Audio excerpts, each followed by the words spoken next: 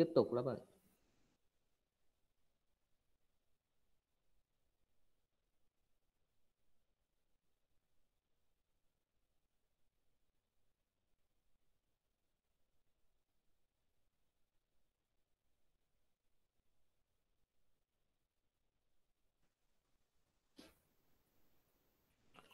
À, mời các bạn vào lớp.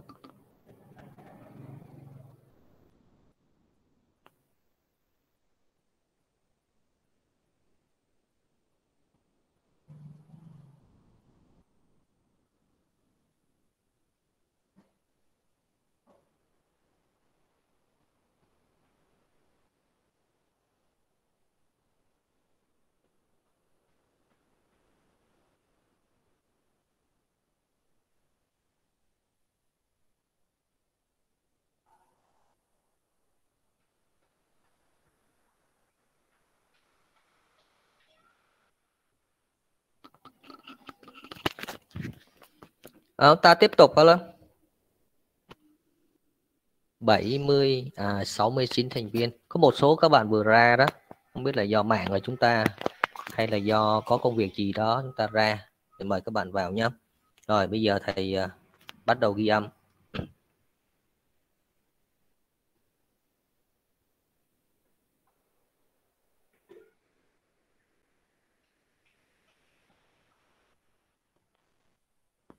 À, phần tiếp theo là một số các cái um, cái chất khác cũng thuộc cái nhóm mà nội tiết đó à, đó là prostaglandin à, prostaglandiner.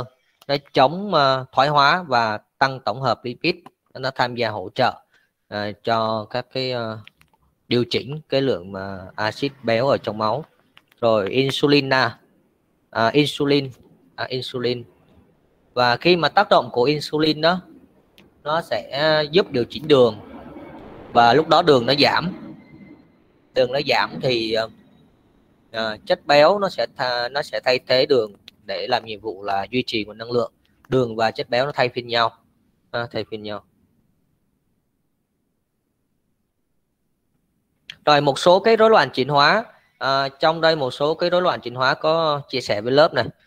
À, 7 cái rối loạn chuyển hóa thì nếu mà ứng dụng trong thực tế liên quan tới bệnh lý á, thì à, chúng ta sẽ có những tình trạng như sau. Thứ nhất là gan nhiễm mỡ. Thứ hai là sơ vữa động mạch. Đây là những cái à, cái tình trạng bệnh mà cần phải điều trị. Và khi mà điều trị thì đương nhiên là chúng ta sẽ sử dụng thuốc nhưng mà trước khi sử dụng thuốc á là chúng ta sẽ đánh giá về chức năng gan. Thứ hai là bệnh nhân có vấn đề gì ngoài cái vấn đề này không? Còn sơ vữa động mạch thì mình sẽ đánh giá bằng các cái xét nghiệm như là bi lăng lipid để mình đánh giá cái lượng mà lipid máu rồi dựa vào sự thay đổi tăng hay giảm ví dụ như là LDL và uh, à, HDL cũng như là triglycerid ba cái chất đó tăng giảm như thế nào? Để mình sẽ có cái phương án phù hợp. Vì uh, bình thường á là cái động mạch của mỗi người á nó có cái thành và trong cái thành động mạch nó nó, nó có cơ. Nó có cái sợi đàn hồi. Nó có sợi đàn hồi ha. Và sợi cơ trơn nữa. Do vậy á thì nó có thể là thay đổi đường kính. Nếu mà nó đang còn nó đang còn các cái đặc điểm đó. Và đây cũng là lý do mà chúng ta để ý á, những người mà có tuổi á, thì có nguy cơ bị các bệnh lý về về mạch máu à, về mạch máu còn những trường hợp này là những trường hợp mà mà bị bệnh mà do do rối loạn về về mỡ máu. Đó là hai cái cái cái tình trạng mà cần quan tâm. Rồi, còn hai còn hai cái tình trạng nữa, hai cái tình trạng nữa là béo phì và gầy á. Thì đối với béo phì và gầy thì cái trước hết mình điều chỉnh cái chế độ ăn uống thông qua cái việc dinh dưỡng. À dinh dưỡng. Đó và điều chỉnh cái cái vấn đề mà dinh dưỡng là có thể là là khắc phục được rồi. Rồi còn những cái nhóm còn lại như là tăng lipid máu uh, rối loạn về uh, cái chất vận chuyển rồi rối loạn về chuyển hóa cholesterol thì ra cái ba cái nhóm đầu tiên đó liên quan đến cơ chế là chủ yếu. Do vậy thì uh, những cái vấn đề này chúng ta chia làm ba nhóm để để đi theo ba hướng cho nó dễ nhớ ha. Ba cái vị trí đầu tiên rồi hai cái trạng thái tiếp theo và cuối cùng là hai cái bệnh lý à, ngay cả trường hợp mà gan nhiễm mỡ đối với người trẻ thì chúng ta sẽ xử lý khác. Đối với người già chúng ta sẽ xử lý khác. Và cái tình trạng mà gan nhiễm mỡ thì thông thường là chúng ta sẽ phát hiện trên cận lâm sàng. Đó.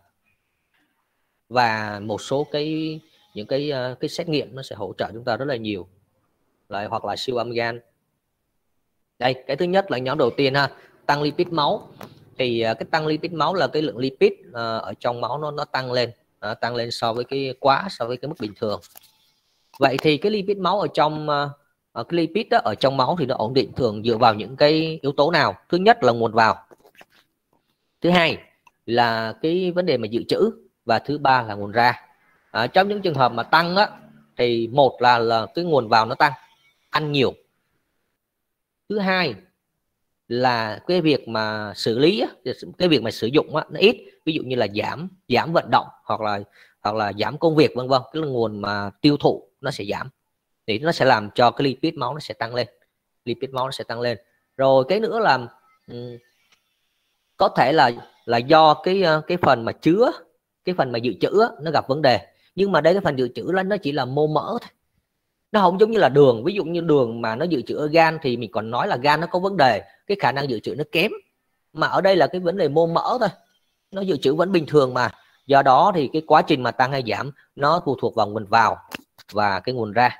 Đó và trường hợp này mà tăng này là nguồn vào nhiều và nguồn ra nó giảm. Rồi ví dụ như à, ở đây mình sẽ giải thích một số vấn đề. Uh, tại sao mà mà phải xét nghiệm là 8 giờ sau bữa ăn cuối cùng? Vì à, sau 8 giờ á, là chất béo nó phải trở về trạng thái bình thường. Nếu mà đó là cái cơ một cái cơ thể bình thường. Các bạn nhớ dùm thầy ha.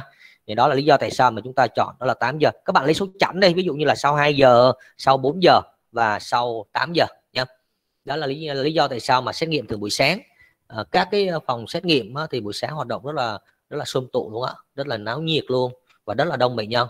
Hoặc là đông những người tới khám còn khám những cái cái cái xét nghiệm khác cái xét nghiệm liên quan tới bệnh nhá thì có thể ở ở cái thời điểm nó khác nhau có thể buổi chiều cũng được. Nhưng mà xét nghiệm về đường này về um, lipid máu thường là buổi sáng. Rồi kế nữa thì um, các bạn để và và cho thầy biết đó là tại sao mà ăn cái dầu thực vật nó sẽ tốt hơn ăn mỡ động vật. Giải thích theo sinh lý nhá. Còn giải thích theo hóa học thì thầy có cái cái giải thích rồi. Như vậy thì các bạn thử xem coi nếu mà dựa vào sinh lý á, thì uh, tại sao mà ăn mỡ động vật thường không tốt bằng ăn dầu thực vật? Tại sao nhỉ cho đáp án đi các bạn cho đáp án đi. 69 thành viên mà dư cho đáp án luôn. Những câu hỏi của thầy cực kỳ đơn giản. Các bạn có thể trả lời theo cái sự hiểu biết của mình cũng trúng đó và khi mà có đáp án ví dụ như thầy hỏi là tại sao lại chọn là sử dụng mà nhiều cái dầu thực vật mà là ít sử dụng mỡ động vật? Ở thời điểm bây giờ nhá chứ còn ngày xưa thì không có dầu thực vật đâu mà dùng thì lúc đó là phải dùng tới mỡ động vật thôi. Tại sao các bạn có cái câu à, cái có, có đáp án không? Có câu trả lời không? À, bạn mà có cái nickname là 19 DDS trung cấp liên thông 175 là lớp trưởng luôn à? hay là bạn nào mà dùng cái nick của lớp ta? Uhm, Nguyễn Hữu Tài có trả lời là để thầy xem. Bạn có trả lời là thường là những gì mà từ thiên nhiên thì đều tốt. Cái đó là giải thích theo một khía cạnh là liên quan tới vấn đề mà là thiên nhiên nhưng mà ở đây mình giải thích theo ờ, sinh lý tức là liên quan tới cơ thể người á. Mình sẽ có một cái cách giải thích nó nó phù hợp hơn. À, ít béo hơn um, cũng chưa chắc. Nhưng mà đó cũng là một cái hình thức có một cái giải thích ha. Rồi còn bạn nào có một cái giải thích khác nữa không?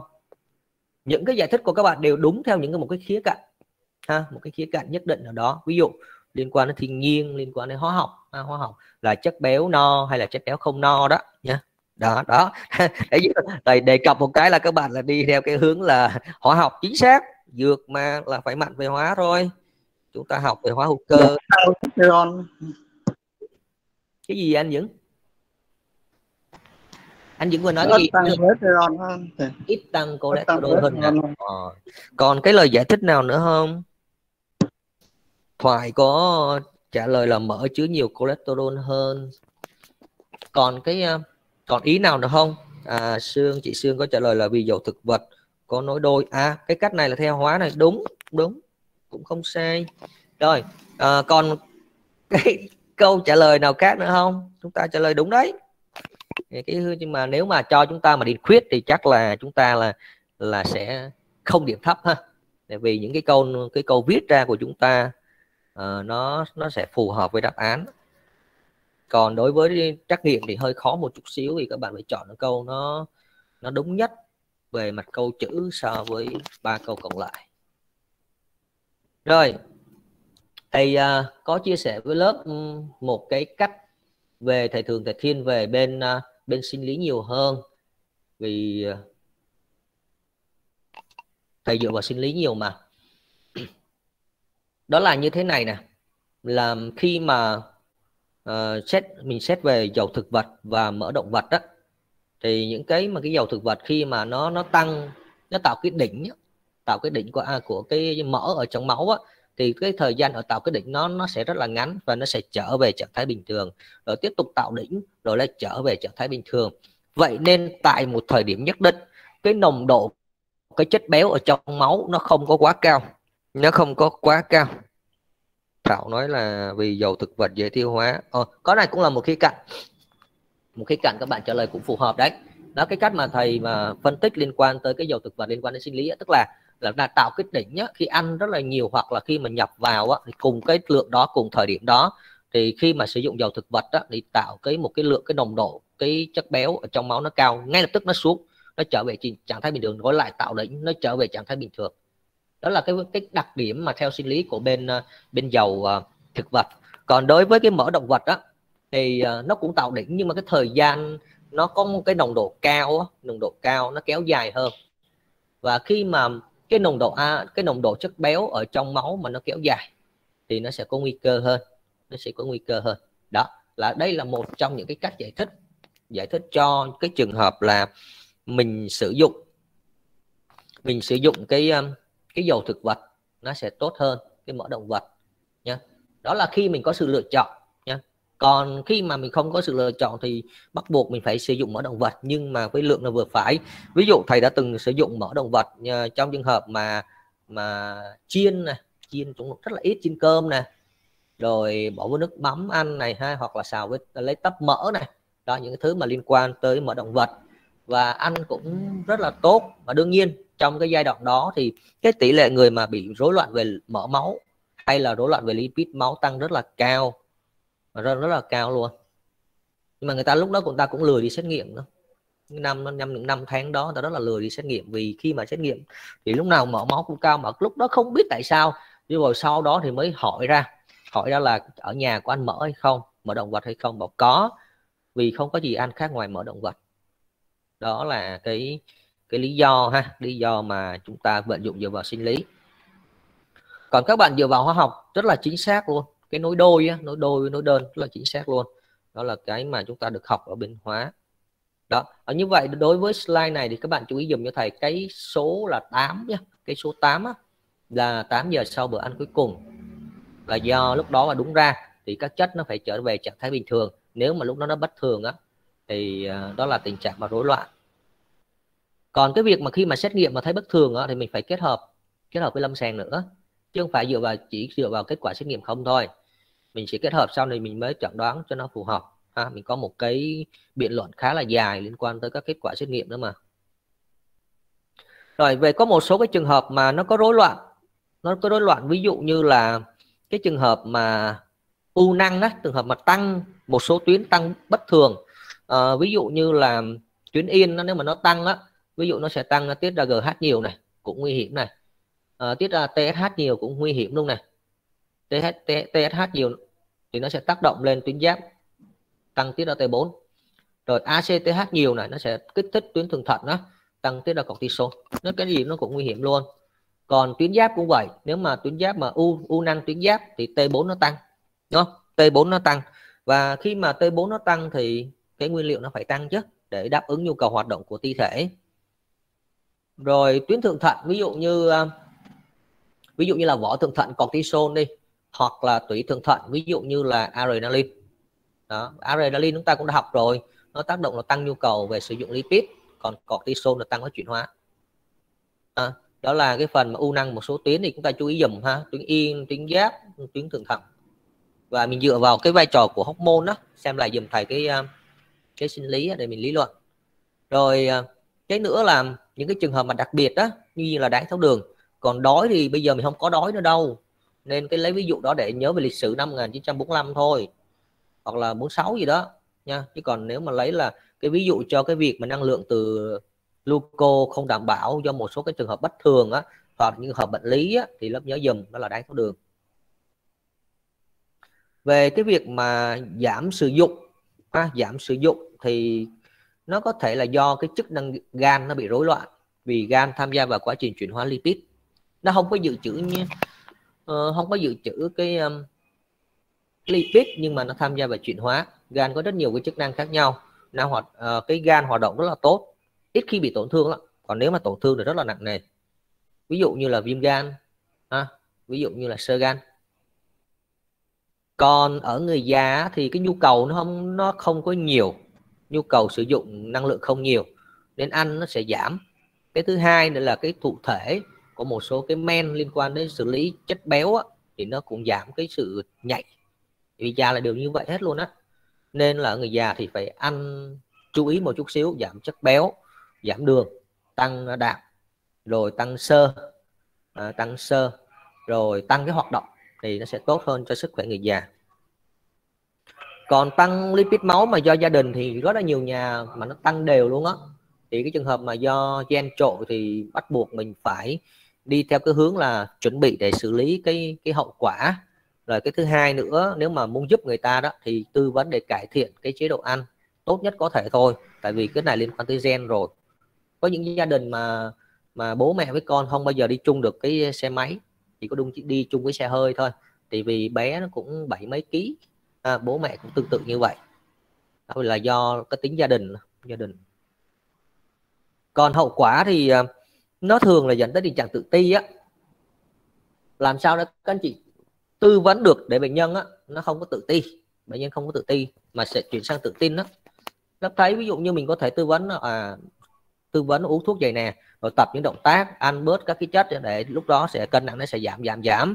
À, chúng ta sẽ có một sức khỏe nó tốt giống như những trường hợp ví dụ như là chúng ta xem cái bộ phim sắc đẹp ngàn cân đó phim ai mà sợ phim này phim như phim mỹ thì phải. Chúng ta thấy có sự thay đổi và sự thay đổi đó là do tập luyện thôi ăn uống và tập luyện thôi. À, do vậy thì mình phải tư tư vấn để người ta người ta sẽ hết tự hết tự ti. À, và đương nhiên người ta phải cam kết. Mấy người này mà ăn nó thì lúc nào cũng cảm thấy đói ăn nhiều lắm. Vấn đề mà giảm giảm cân á, là cả một cái quá trình chứ không phải là hỏi em dùng thuốc này nó giảm cân được hay không? Dùng thuốc kia nó giảm cân được hay không? Trong khi không ai hỏi là là làm sao để giảm cân? Chứ uống thuốc mà giảm cân thì dược sĩ chỉ cần ngồi nhà thuốc thôi là khỏe rồi. Khỏi và phải quảng cáo gì hết. Ngồi ta tới mua ầm ầm ầm á. Do vậy thì phải lúc cái một cái quá trình ha, tư vấn một cái quá trình mình phải có kết hợp. Đặc biệt là dụ tăng giảm cân á. Rồi rối loạn về cái chất vận chuyển. Rối loạn về chất vận chuyển có thể là do bẩm sinh cái trường hợp nó khó có can thiệp. Rồi do cái um, cái gen lặn chi phối à, cái đó thường hai cái là thực sự rất là khó. Nên mình thường mình quan tâm đến việc tăng hay giảm cái nồng độ các chất thôi.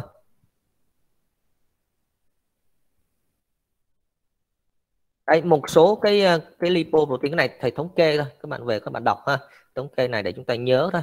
Và cũng không có hỏi nhiều về cái nhóm này vì nó nó thường là liên quan đến nghiên cứu nhiều hơn và các bạn bên dược thì mang ừ, thường là theo cái khuynh hướng là ứng dụng thực tế thì tốt hơn.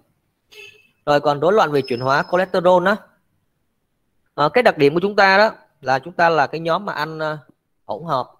À, ăn hỗn hợp. Thì chúng ta có thể tổng hợp uh, chất béo từ tổng hợp chất béo từ à, từ có thể là từ động vật có thể từ à, à, từ à, uh, từ thực vật ha có thể mình sẽ phối hợp với nhau. Mình sẽ phối hợp với nhau. Và khi mà khi mà sử dụng á hay sử dụng á thì uh, nó sẽ đi theo cái hệ thống uh, bạch huyết rồi vào trong cái hệ thống tuần hoàn.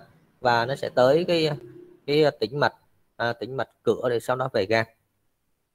Đây hình ảnh minh họa các các bạn xem cái hình ảnh này. Nhìn chúng ta thử tưởng tượng xem.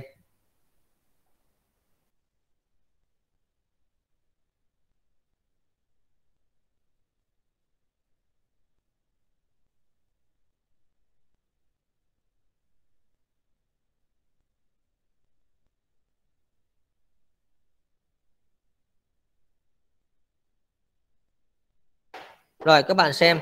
À, uh, hai cái chất này nó vận chuyển cái, cái ờ, chiều hướng ngược nhau. Và đương nhiên là HDL là tốt rồi. Khi mà xét nghiệm thì HDL mà tăng là tốt. Còn LDL tăng thì không có tốt.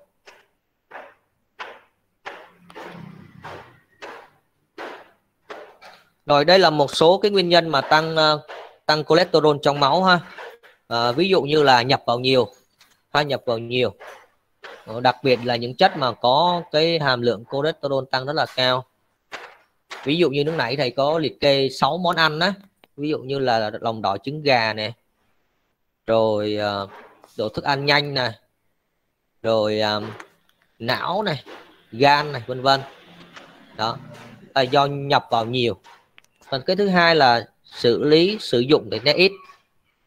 À, hoặc là những cái trường hợp mà à, thoái hóa chậm cái trường hợp mà thoái hóa chậm ví dụ bệnh nhân bị bệnh à, về suy bị nhược giáp à, bị nhược giáp thì cái lượng T4 nó rất là ít. Lượng T4 ít thì mình sẽ cần ít năng lượng và mình sẽ cần ít nguyên liệu. Mình sẽ cần ít nguyên liệu để à, để xử lý à, và lúc đó thì nó nó sẽ dư nhiều. Rồi những trường hợp khác ví dụ tăng huy động sử dụng chất khác và cái chất khác đó là gì? Đó là đường ví dụ như là đái tháo đường đi tăng huy động đường. Các bạn chờ thầy một chút xíu.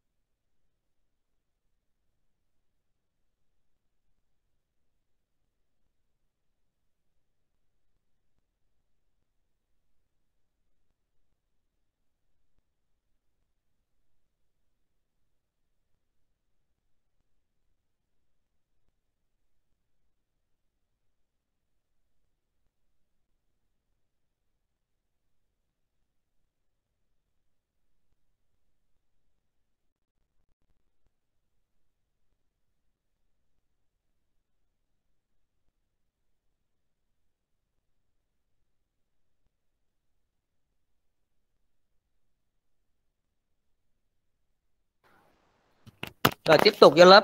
À, quay lại chút xíu để nhắc lại một tí đó là à, trong những trường hợp mà tăng cholesterol máu thì cái đầu tiên các bạn nghĩ là có trường hợp mà tăng mà do nhập vào á nhập vào là chính cái đó mình xử lý nó nhanh hơn. À, những cái thuốc mà điều trị thì mình sẽ hướng vào cái mà xử lý cái trường hợp mà nhập vào. À, ví dụ như là ăn uống á ăn uống thì mình sẽ cải thiện. Rồi cái trường hợp thứ hai á, là trường hợp mà mà sử sử dụng á, sử dụng nó giảm. Một trong những trường hợp đó là bị uh, suy giáp á, hay hay thầy có ghi là thiểu năng tuyến giáp á, thì lúc đó T4 nó giảm ha. hoặc là trường hợp thứ ba là người cái đồng đội của axit béo á, đó là đường nó được sử dụng rất là nhiều. Vậy bây giờ mà nếu mà mà có những chất mà nó nó tạo ra năng lượng á, mà dễ sử dụng hơn á, thì người ta sẽ, à, cơ thể nó sẽ ưu tiên chọn chất béo. Khi mà chất béo nó có vấn đề thì mình mới chọn tới à, tới đạm. Do vậy thì trong những trường hợp mà mà đái tháo đường á DTH à, DTD á, là đái tháo đường thì sử dụng ha. Hoặc là những cái trường hợp ví dụ như là hội chứng thận hư á, HCTH là hội chứng thận hư. Thì lúc đó thì cái cái quá trình lọc nó sẽ gặp vấn đề. Vấn đề nó cái lỗ lọc nó sẽ bị ờ, bị rối loạn và nó có thể ảnh hưởng đến cái trường hợp mà mất đường hoặc là hoặc là chất đạm. À, do vậy thì cái ờ, cái lượng cholesterol này nó sẽ tăng hơn để nó đảm bảo cái cái nguồn năng lượng. Nó đảm bảo cái luồng cái cái cái cái luồng là cái nguồn năng lượng nhé đó các bạn chú ý giải thích dùm ha. Các cái vị trí ví dụ thầy có thể hỏi vì đây là cơ chế cơ chế mà liên quan đến sinh lý bệnh mà tại sao những cái trường hợp mà mà đái tháo đường á thì à, cái nhu cầu tạo năng lượng từ cái nguồn từ nguồn chất béo lại tăng. À, tại sao trong hội chứng thận hư á thì cái nhu cầu mà sử dụng mà à, cái nhu cầu mà tạo năng lượng từ cái chất béo nó lại tăng. Thì các bạn cứ theo cái hướng mà hai cái chất còn lại nó phải giảm và đối với đái tháo đường thì cái đường nó sẽ giảm. Trong máu á còn hội chứng thận hư nó sẽ liên quan tới cái đạm nó giảm mà cái đường nó giảm. Bị liên quan đến cái cái lọc cái màng lọc á cái lỗ lọc nó sẽ to hơn. Đó là trường hợp mà rối loạn nha. Rồi giảm nguyên nhân mà giảm thì thông thường đó là do um, cái uh, tăng quá trình đào thải ra ngoài tức là sử dụng nhiều thì nó sẽ giảm thôi nên khi mà làm việc nhiều, làm việc nhiều và cần có nguồn năng lượng thì phải bổ sung. Nếu mà không thì đường nó sẽ giảm, chất béo nó sẽ giảm. Còn cái trường hợp mà giảm hấp thu trong một số trường hợp đặc biệt thôi. Ví dụ như trường hợp mà Basdo cái này thì tới phần bệnh học sẽ giới thiệu cái bệnh lý này. Đây là tên của nhà khoa học tìm ra cái bệnh này luôn á. Rồi trường hợp mà viêm đường ruột, đặc biệt là ruột già. Rồi cuối cùng là giảm cái cholesterol bẩm sinh. Nếu trường hợp liên quan tới bẩm sinh nhá thì à, phải điều chỉnh làm sao đỡ ảnh hưởng nhất thôi. Chứ còn tác động mà tới di truyền, gen thì rất là khó. Mà các bạn bên dược thì là ít có tìm hiểu tới mức này. Thì thường chúng ta tìm hiểu tới mức là cơ quan, hệ cơ quan thôi. Còn tế bào hay là phân tử gì đó thì để cho các cái bạn à, bên y ta tìm hiểu. Rồi, còn đây là một số cái à, cái hình ảnh minh họa cho cái việc mà nếu mà quá cân thì nó sẽ ảnh hưởng. Nếu một người cân nặng bình thường và một người quá cân, thì nếu hai người đó cùng bị một bệnh, thì cái người mà có cân nặng bình thường á, thì có thể điều chỉnh nó nhẹ nhàng hơn. Còn những người mà quá cân thì sẽ có vấn đề gặp trở ngại. Và cái mà để đánh giá được cái quá cân hay không, thì các bạn sẽ dựa vào BMI à, cái chỉ số khối của cơ thể. Và cái chỉ số khối cơ thể, của cơ thể bằng à, cân nặng tính bằng kg chia cho bình phương chiều cao và chiều cao tính bằng mét. Nhớ dùm thầy. Và bình thường chúng ta khoảng từ 18,5 cho tới dưới 23 đó là trường hợp bình thường. Còn nếu mà nhỏ hơn 18,5 là gầy. Còn lớn hơn ờ, 23 thì có thể là quá cân. Từ 23 cho tới 25 á, là quá cân. Và trên 25 á, là béo phì. Đó. tính là dựa vào BMI là như vậy. Còn nhìn và bảo là ô gầy nhìn vào bảo mập không? Đó là do cái chủ quan của mình, không tính. Và chúng ta thấy những cái bệnh lý mà mà có thể nghe bệnh nhân kể, những người mà quá cân đã kể, ví dụ như là ngáy nè. Ngáy trong đêm á. Những trường hợp lúc đầu người ta sẽ không có tin là người ta ngáy đâu, nhưng về sau người ta phải tin vì có bằng chứng minh, bằng chứng cụ thể. Thứ hai là trường hợp mà viêm khớp à, đặc biệt là khớp gối à, khớp gối là một. À, rồi tổn thương có thể ảnh hưởng tới khớp uh, cuộc sống thắt lưng á đặc biệt là L4 L5 hai khớp nó bị rất là nhiều. Tiếp theo nữa là tình trạng tình trạng gan nhiễm mỡ. Còn K là cái cuối cùng nha. Rồi cái nữa là tình trạng à, đái tháo đường đái tháo đường tiếp 2 rồi tiếp nữa là tái biến mạch máu não mình gọi là đột quỵ rồi trường hợp mà bệnh lý về tim mạch ví dụ như uh, suy tim hay là thiếu máu cơ tim rồi tăng huyết áp rồi rối loạn về uh, cholesterol trong máu gặp những trường hợp mà tăng cholesterol trong máu rồi những bệnh lý về à, về túi mật ha, bệnh lý về túi mật do có thể hoạt động quá mức. Đó sơ sơ chúng ta thấy là có rất nhiều rất nhiều các bệnh lý nó có thể là xảy ra trước nhưng mà với cái, cái cân nặng tăng của những người bị quá cân đó, nó sẽ nặng hơn hoặc là nó sẽ xảy ra đồng thời hoặc là quá cân là nguyên nhân gây ra. Đó có những cái tình huống là như vậy. Nên là mình tìm hiểu cho nó kỹ một chút xíu để mình tư vấn. Và đây là một số hình ảnh minh họa. Và nó có cái hình cái hình dáng của chúng ta cái hình người chúng ta nó có hai dạng. Là một hình là hình quả táo à, hai là hình quả lê. Thì thông thường á là chúng ta sẽ thích cái hình hình quả lê nhiều hơn. Lý do đó đối với hình quả lê là đúng như cái dạng mà cái vòng hai nó sẽ nhỏ còn đối với hình quả táo, ví dụ đây này, cái kiểu như hình quả quả táo là hình này, thì nó sẽ to cái vòng hai hơn. Đó, và khi mà to vòng hai như vậy thì cái lượng mà mỡ nó tích lũy lại ở trong mô mỡ sẽ rất là nhiều.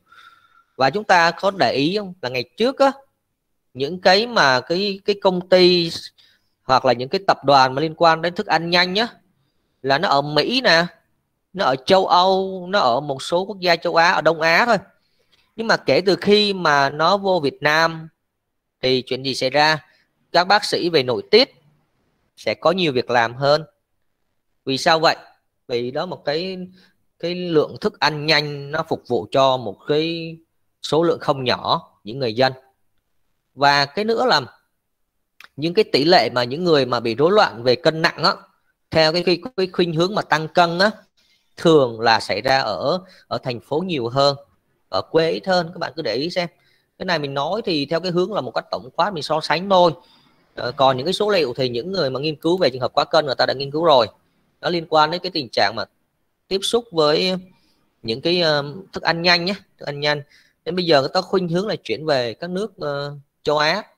Ví dụ như là cái uh, uh, KFC ha gà rán hoặc là Jollibee vân vân đó, nó vừa có lợi, thức ăn nhanh nó vừa có lợi, nhưng mà cái ờ, nó lại vừa không có lợi. Do vậy mình cố gắng làm sao để cái mặt hại nó ít hơn. Cái thức ăn nhanh phải đảm bảo là nó phải đầy đủ chất, chứ không phải nhiều ờ, tinh bột. Chứ không phải là nhiều chất béo, hai cái đó nhiều không có tốt. Ví dụ nhiều vitamin thì tốt, nhiều đạm thì nó tốt, nhưng mà phải phối hợp với ăn. Giống như trường hợp mà nói là em muốn tăng cân, bây giờ uống thuốc được không? Không biết nói thì sao, lại phải tư vấn vòng vòng em muốn giảm cân uống thuốc được không? Cũng vậy lại phải nói theo một cái một cái nhóm một cái cái hệ thống một cái quy trình ha, một cái quy trình nói như theo kiểu chúng ta một quy trình. Rồi về béo phì lớp nhớ dựa vào BMI ha. BMI của người châu Á và Thái Bình Dương nha. Tại vì người châu Âu theo HU á, thì nó hơi cao. HU thì thường nó đánh giá dựa trên người châu Âu mà cái thể trạng của người châu Á thì nó không có bằng. Nên chúng ta có cái um, cái chỉ số người châu Á Thái Bình Dương á những những cái số mà nãy giờ thầy chia sẻ cho lớp á, là của người châu Á Thái Bình Dương á. Ví dụ như là từ 18,5 mà cho tới 23 này cái 23 thì mình không lấy đầu mốt rồi từ 23 cho tới 25 ha. Rồi từ 25 trở đi là béo phì. Còn dưới ờ, 18,5 là gầy. Và thông thường á thầy thấy là những người những bạn mà có cái cái BMI khoảng ờ, 19 20 á thì cái dáng nó cũng khá là ổn khá là ổn luôn rồi đây là một cái um, mô phỏng chúng ta thấy uh, cái sức khỏe tốt là đây. Hình này đỏ đỏ này đẹp ha. Còn càng là cái uh, cái hình mà giống giống như là hình trái táo là vòng hai nó to ra là có vấn đề rồi. À, có vấn đề. Nên là khi mà nhìn cái này thì thầy thấy tội nghiệp. Tôi rất là tội nghiệp luôn cái uh, võ sĩ sumo á.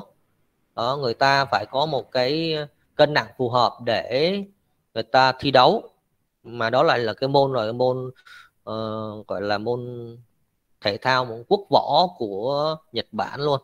Và những người đó thì nó sẽ có vấn đề. Mà nãy giờ những cái vấn đề mà mình chia sẻ ở cái hình ảnh đó. Nhưng mà người ta chấp nhận vì cái niềm tự hào mà. Rồi còn cái mà định nghĩa là cái béo phì mà do tình trạng cơ thể tích lũy mỡ mà trên 20% so với quy định đó thì nó sẽ gây khó cho chúng ta. Vì chúng ta lại phải nhớ là chuẩn là bao nhiêu thường là chuẩn là bao nhiêu dựa vào tuổi và chúng ta sẽ có chiều cao cân nặng phù hợp á, là thường là dành cho trẻ em thôi. Còn đối với chúng ta, các bạn nhớ là BMI mà lớn hơn 23 là quá cân, anh nhớ 25 là béo phì. Và nó sẽ liên quan đến thần kinh trung ương luôn, đặc biệt là cái vùng nhân dưới đồi á. Nên có những trường hợp mà mà rất là thèm ăn thèm ăn. Ví dụ như là nhân bụng mà bị bị tác động á, thì rất là thèm ăn và khi đó thì người ta sẽ kiểm tra thế có thực sự là là có nhu cầu hay không. Nếu mà không, sẽ kiểm tra thần kinh trung ương. Và nếu không thì có thể bệnh lý về tâm thần kinh. Vì các bạn biết đó bên tâm thần có một cái cái tình trạng bệnh đó là cuồng ăn đó cuồng ăn. Ăn như vậy thì rất là nguy hiểm. Nó nó có thể dẫn đến tình trạng là rối loạn về tiêu hóa, nguy cơ phải đi cấp cứu rất là lớn. Nên phải kiểm tra cho nó kỹ. Rồi có những trường hợp khác là do do liên uh, tổn thương các cái thần kinh thần kinh giao cảm. À, cái nhân lưng và nhân bụng à, em xem lại cái phần à, à, xem lại cái phần về giải phẫu của thần kinh ha. Là cái nhân lưng nhân bụng á, ở trên não ở trên thần kinh trung ương. Xem lại dùm chút xíu. Hoặc là em có thể zalo thầy thầy sẽ gửi đoạn đó cho em. Thì chụp lại đoạn đó cho em gửi cho em nhé rồi về à, cái rối loạn về nội tiết á, thì các bạn quan tâm ví dụ như là cơ sinh á cơ sinh á, liên quan đến cái rối loạn về ờ, về nội tiết các bạn biết là rối loạn về tuyến gì không? Hội chứng cơ sinh á. Nhớ không? Là rối loạn về tuyến gì không? Tuyến thôi nhá tại chưa có hỏi vùng luôn á tuyến thôi. Dạ tuyến. Tuyến thượng thận đúng rồi đúng rồi tuyến thượng thận. Comment vô để lưu lại nói nhiều khi quên đấy comment dạ. để ừ đúng rồi tuyến thượng thận á có sinh này. À, thường tuyến thượng thận thì thường thường có ba cái rối loạn. Một là Addison hai là cất sinh và và ba là u tủy thượng thận. Thì cái u tủy thượng thận không nói nhưng mà cất sinh là như vậy đó. Và thường cất sinh là cái um, cái gáy ờ, các trường thầy cái mất đi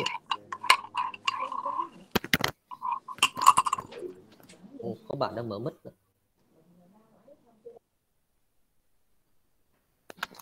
à, các bạn chờ thầy chút xíu. Rồi, à, ờ, quay lại à, bài ha là cái trường hợp mà có sinh á là cái chỗ mà mở nó tích lũy từ gáy trở lên. Cái mặt nó giống như là tròn như mặt trăng gì đó. Nên nhìn cái mặt là mình có thể đoán được luôn. Rồi những trường hợp mà suy giáp suy giáp đó là T4 nó giảm. T4 nó giảm thì cái hoạt động á của nó nó sẽ nó sẽ chậm hơn chậm hơn nên là cái cái nguồn nguyên liệu nó sẽ dư nó sẽ tích lũy lại ở mô mỡ. Đó là cái phần tích lũy là như vậy ha. Thứ hai nữa là cái lượng dịch hay lượng lượng nước á, quá trình trao đổi á, thì nó sẽ bị ứ động lại. Nên nó cũng gây đến tình trạng mà tích nước. Là do T4 cái trung quy là do T4 hết. Rồi liên quan đến cái ờ, cái tổn thương cái vùng trí đồ cái này liên quan đến thần kinh thì các bạn đọc thêm. Thì sẽ hỏi nhiều liên quan tới nội tiết để các bạn dễ nhớ hơn giống lúc này có một bạn hỏi về nhân lưng và nhân bụng á mình lại phải có một cái cái cái công đoạn mình quay lại mình xem cái thần kinh.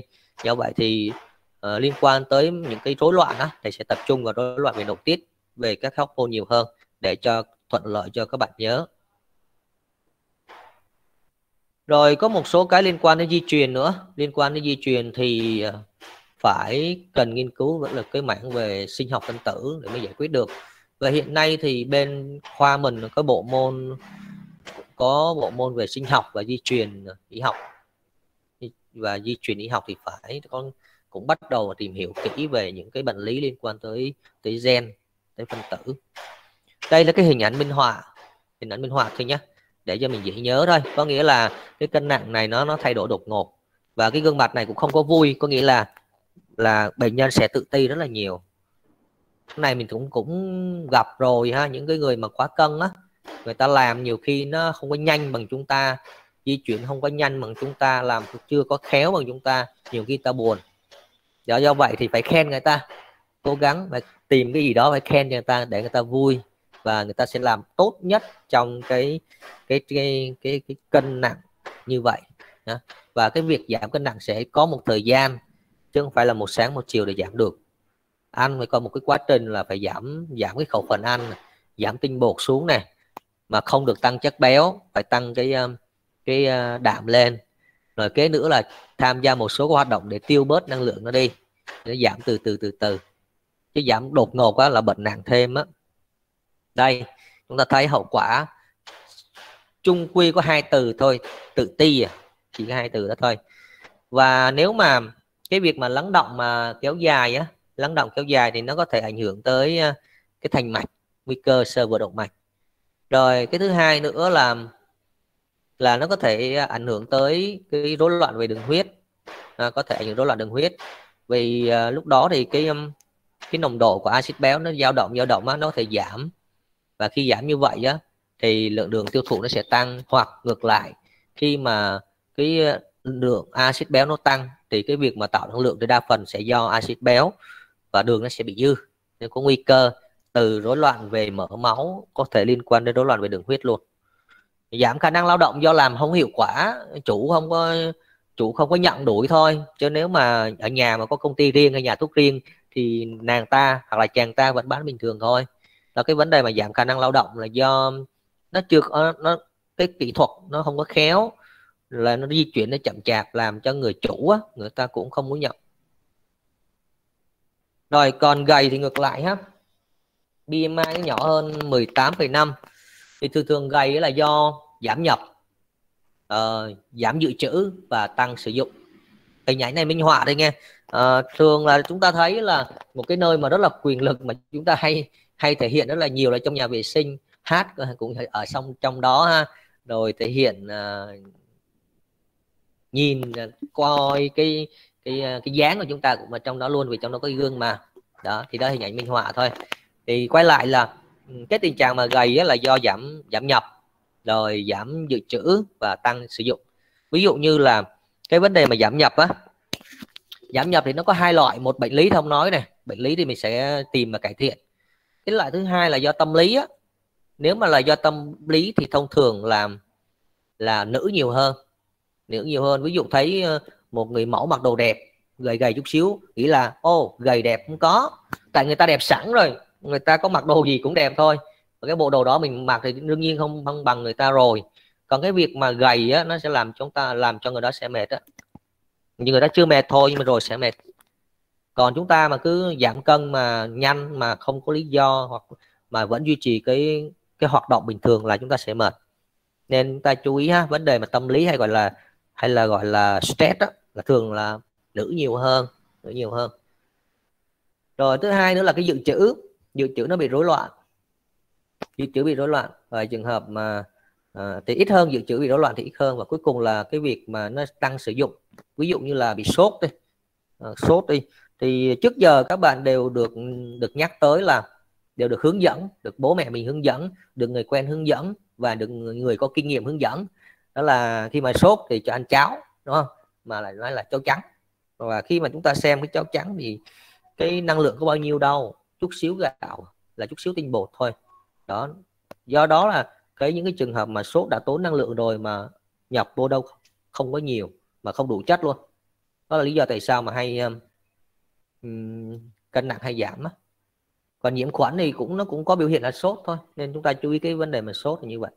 Và biết điều đó thì sau này nếu mà có ai đó sốt mà mình cần chăm sóc á thì mình cần bổ sung thêm. Đương nhiên không bổ sung nhiều mà từ từ từ từ ít một ít một. Bổ sung đạm thêm.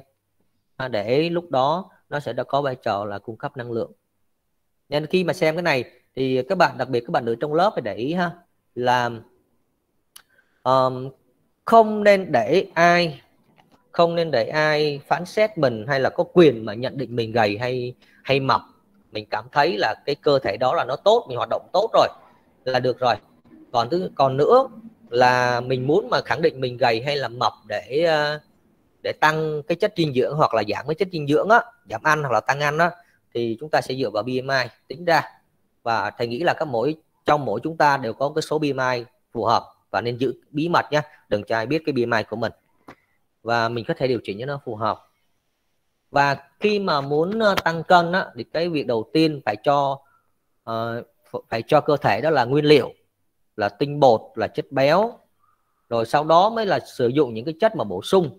Còn cái việc mà không ăn được chán ăn. Phải có một cái bạn ờ, một cái, uh, cái bệnh nhân á nó mới có 18 tuổi thôi mà kể là nó chán ăn không ăn gì hết. Cao 1 mét 70 nặng 50 kg ủa trời sao mà chịu nổi rồi. Bọn lười ăn. Bây giờ bằng cách nào để tăng cân được? Câu hỏi thực sự là khó luôn á thì thầy chia sẻ một là phải cải thiện chế độ ăn và coi coi có vấn đề gì bệnh lý không khám. Thầy tiêu hóa có vấn đề gì không? Không. Vậy thì là do cái tình trạng mà lười ăn phải cải thiện chế độ ăn. Và khi cải thiện chế độ ăn, phối hợp với thuốc và một sản phẩm, các sản phẩm hỗ trợ khác thì có thể cải thiện được. Rồi tập luyện thể dục thể thao những môn mà vừa sức. Chứ bây giờ bảo là uống thuốc thôi mà tăng cân được hay không thì chắc mấy cái loại dưỡng nước nó sẽ ảnh hưởng tới có hại cho cơ thể. Và cái gì mà tốt cho cơ thể thì chỉ có tự nhiên đó cái con đường mà ăn uống bình thường á. Rồi có gì bổ sung thì cái phần bổ sung là cái phụ thôi. Còn cái chính là phải cái chính là phải ăn được. Hoạt động vừa phải. Rồi ngủ đúng ngủ đúng đúng giờ giấc. Nó nó sẽ giúp chúng ta khỏe hơn nha. Cái ca kia khó quá điều chỉnh thôi. Cuối cùng là phải cam kết là ăn theo cái thực đơn mình đưa ra. Rồi phải uh, báo về số lượng để mình tính cho nó phù hợp vì mình không có trực tiếp mà nên là phải liên hệ rất là sát như thế. Thì lúc đó mình mới bảo đảm là người ta đăng ký được chứ chứ đăng ký đâu có khó. Ờ, đó là cái sở trường của thầy mà cái đăng ký không có khó giảm ký mới khó thôi. Rồi hậu quả à, hậu quả thì cái năng lượng cái nguồn năng lượng nó không có hoặc là rất là ít làm sao mà làm? Người ta làm làm việc nó nó không ổn lắm. Đói mà nhiều khi làm nó không có đạt hiệu quả tay run sao mà làm được? Đi học nhiều khi mà cái mấy cái môn mà thực hành cũng không xong nó đói quá mà. Giống như là chúng ta để ý mấy hôm nào mà học sáng chiều tối đặc biệt là những hôm mà thứ bảy mà học 3 k 3 k lý thuyết đó thì cái khoảng mà 19 tới 20 giờ đó, con 18 tới 19 giờ của tối thứ bảy á, cảm giác chúng ta như cái lân lân lân lân á. Và nhiều bạn có thể là feel luôn á, không nghe được cái gì luôn. Còn học cái này còn đỡ chỉ tội là nghe qua cái cái tai mình hơi khó chịu sáng chiều tối thôi. Rồi, đây là cái trường hợp mà sơ vữa động mạch. Sơ vữa động mạch hay là sơ mỡ động mạch trong ngoài bắc gọi là sơ mỡ động mạch. Là cái tình trạng mà cái thành mạch nó hẹp lại do cái mỡ lắng động. Và ở thành mạch thì chúng ta chú ý có cái ờ, cái lớp cơ này. Lớp cơ với lớp chun này làm cho động mạch nó co giãn tốt. Và các bạn còn nhớ huyết áp không? Huyết áp bằng cái thể tích tâm thu nhân tần số tim nhân với sức cản ngoại vi. Và khi mà sức cái sức cản ngoại vi nó được ổn á. Chỉ trừ chỉ khi nào mà cái đường kính của mạch máu nó có thể co giãn tốt à, nó co giãn tốt. Và hai cái lớp này này là lớp chun với lớp cơ này khi về già đó thì nó nó sẽ giảm cái tính đàn hồi đi. Nó giảm cái khả năng có bóp đi. Đó là lý do tại sao mà người già có nguy cơ bệnh lý về về mạch máu rất là lớn. Rồi đây cái này là thành mạch của chúng ta. Cái số 1 đó cái số 2 là cái thành mạch này tới nhà thuốc chúng ta mua thuốc khi mà có toa cái số 3 là là bỏ qua nhà thuốc chúng ta luôn vào vô và vào cấp cứu luôn cái trường hợp này đi cấp cứu thôi vì nó tắt rồi nguy cơ là vỡ ha. là cái này tốt nhất là phải duy trì cái này, này. hoặc là duy là tới cái này từ số 2 mà qua số 1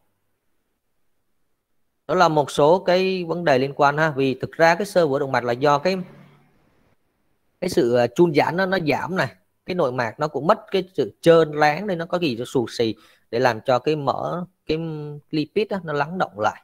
Và dần dần nó nó sẽ hẹp lại và tăng áp lực tăng huyết áp đó. nó làm cho cái áp lực nó tăng hơn và có nguy cơ là nó vỡ. Mà vỡ thì nếu mà ở cái động mạch cảnh trong thì nguy hiểm rất là nguy hiểm luôn. Có nguy cơ bị tai biến mạch máu não. Mà nếu mà vỡ cái động à, mạch vành nhá thì nguy cơ bệnh lý về tim mạch đặc biệt là tim, nhé.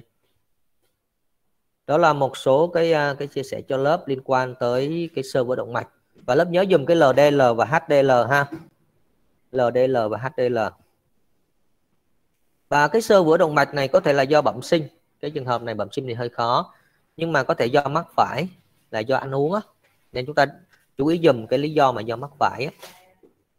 Là do ăn quá nhiều mỡ động vật đó mà mà ít ăn mỡ thực vật à quên, ít ăn cái dầu thực vật. Và đây là một số cái à, điều kiện thuận lợi. Ví dụ như là vitamin C. Vitamin C, thì vitamin C có nhiều cái cách mà nói và nhiều cái vai trò lắm. Ví dụ như là vitamin C tăng sức đề kháng, nó khỏe hơn, đúng không? Và trong cái toa thuốc thường hay hay cho thêm vitamin C. Còn nhưng mà nếu mà sử dụng mà dư á, thì nguy cơ gì nhỉ? Dư thì có nguy cơ ha. Nguy cơ gì? Sỏi đúng không? Sỏi. Đúng rồi. Rồi còn nếu mà thiếu á, thì thiếu lại có nguy cơ đó là cái nó nguy cơ là ứ động cái mỡ ở trong mạch máu. Do vậy vừa à, vừa đủ thôi. Vitamin C nếu mà muốn mà sử dụng mà vừa nhất có thể á thì các bạn sử dụng cái loại mà nó có trong những cái những cái trái cây mà bị chua chua ăn cái đó thì nó sẽ hợp lý hơn và nó cũng có một số cái điều kiện mà làm cho cái tình trạng sơ vữa động mạch nó xuất hiện. Ví dụ như là cái lối sống mà tĩnh tại á, ít vận động. Lớp mình nó là, là hoạt động cực kỳ nhiều luôn đúng không? Cực kỳ nhiều luôn. Đợt này thì nó đỡ chứ. Còn cái tây à, còn cái lúc mà học offline hoạt động rất là nhiều luôn. Vì di chuyển di chuyển mà.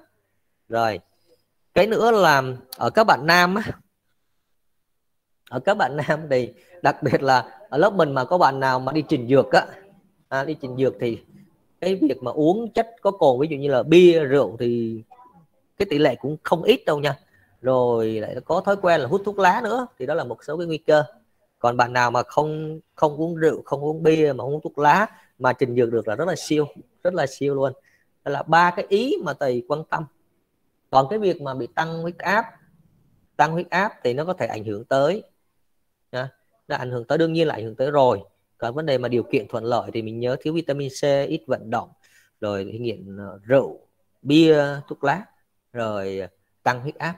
Bốn cái ý mà à, chúng ta nhớ ha. Còn ý thứ năm thì chúng ta sẽ nhớ sau cũng được. Hậu quả chúng ta biết rồi ví dụ như là sơ uh, sơ vữa động mạch vành có thể vỡ động mạch vành sơ vữa động mạch não ví dụ như là động mạch uh, cảnh trung mà cụ thể là động mạch cảnh trong và nếu mà nhẹ thì là tắc mạch nặng hơn là vỡ mạch. Vỡ mạch thì có nguy cơ tử vong rất là lớn. Và cái cuối cùng cái hình ảnh này minh họa thôi. Hình ảnh này, hình ảnh này minh họa. Nó giống như tình trạng mà kẹt xe hồi trước ở thành phố Hồ Chí Minh chứ bây giờ cũng hết kẹt xe rồi. Khi mà kẹt xe thì à, bắt đầu là lách qua lách lại đụng chỗ này đụng chỗ kia. Thì cái cái đá mà lót cái vỉa hè có nguy cơ nó bị nó bị vỡ lý do là người ta đi lấn lên nó luôn ở đây cũng vậy kẹt mà. Thì bình thường á thì bình thường hồng cầu không bao giờ nó dính nhau. Nó không bao giờ dính nhau luôn nó có một cái lớp bên ngoài mà. Nhưng mà khi mà kẹt quá hẹp quá thì nó sẽ sát sát tối đa. Thì nó có nguy, nguy cơ là tình trạng là vỡ mạch nha. Đó là một số cái chia sẻ về uh, rối loạn về mỡ máu hay là rối loạn về lipid máu. Thì đối với trường bài này thì cứ dựa vào cái mục tiêu mà chúng ta phân tích. Làm sao chúng ta xoáy được cái vấn đề mà liên quan tới uh, axit béo ở trong trong máu và mọi cái liên quan cái liên quan đặc biệt là cái hormone á. Rồi các cái cái cái cái hậu quả có thể xảy ra. Và một số cái bệnh lý mà có thể gặp ở bệnh nhân mà bị rối loạn về mỡ máu thì lớp nhớ đặc biệt là uh, sơ vữa động mạch hoặc là trường hợp mà gan nhiễm mỡ hoặc trường hợp mà tăng béo phì hoặc là gầy á. Hiện nay cái béo phì quan tâm nhiều hơn gầy gầy thì ít quan tâm hơn và ít lắm. Chỉ trừ những trường hợp mà ta học quá nhiều đi, áp lực lớn á, thì có thể là cái cân nặng nó nó đâu đó, cái BMI đâu đó khoảng 18 thì chúng ta thấy gầy chứ thực ra chúng ta không có gầy đâu. Cho thầy biết chiều cao và cân nặng, thì thầy sẽ đánh giá là chúng ta có gầy hay không, chúng ta có mập hay không.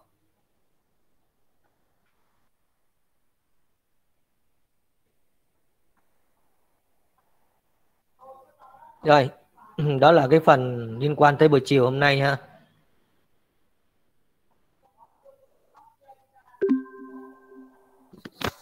Hmm.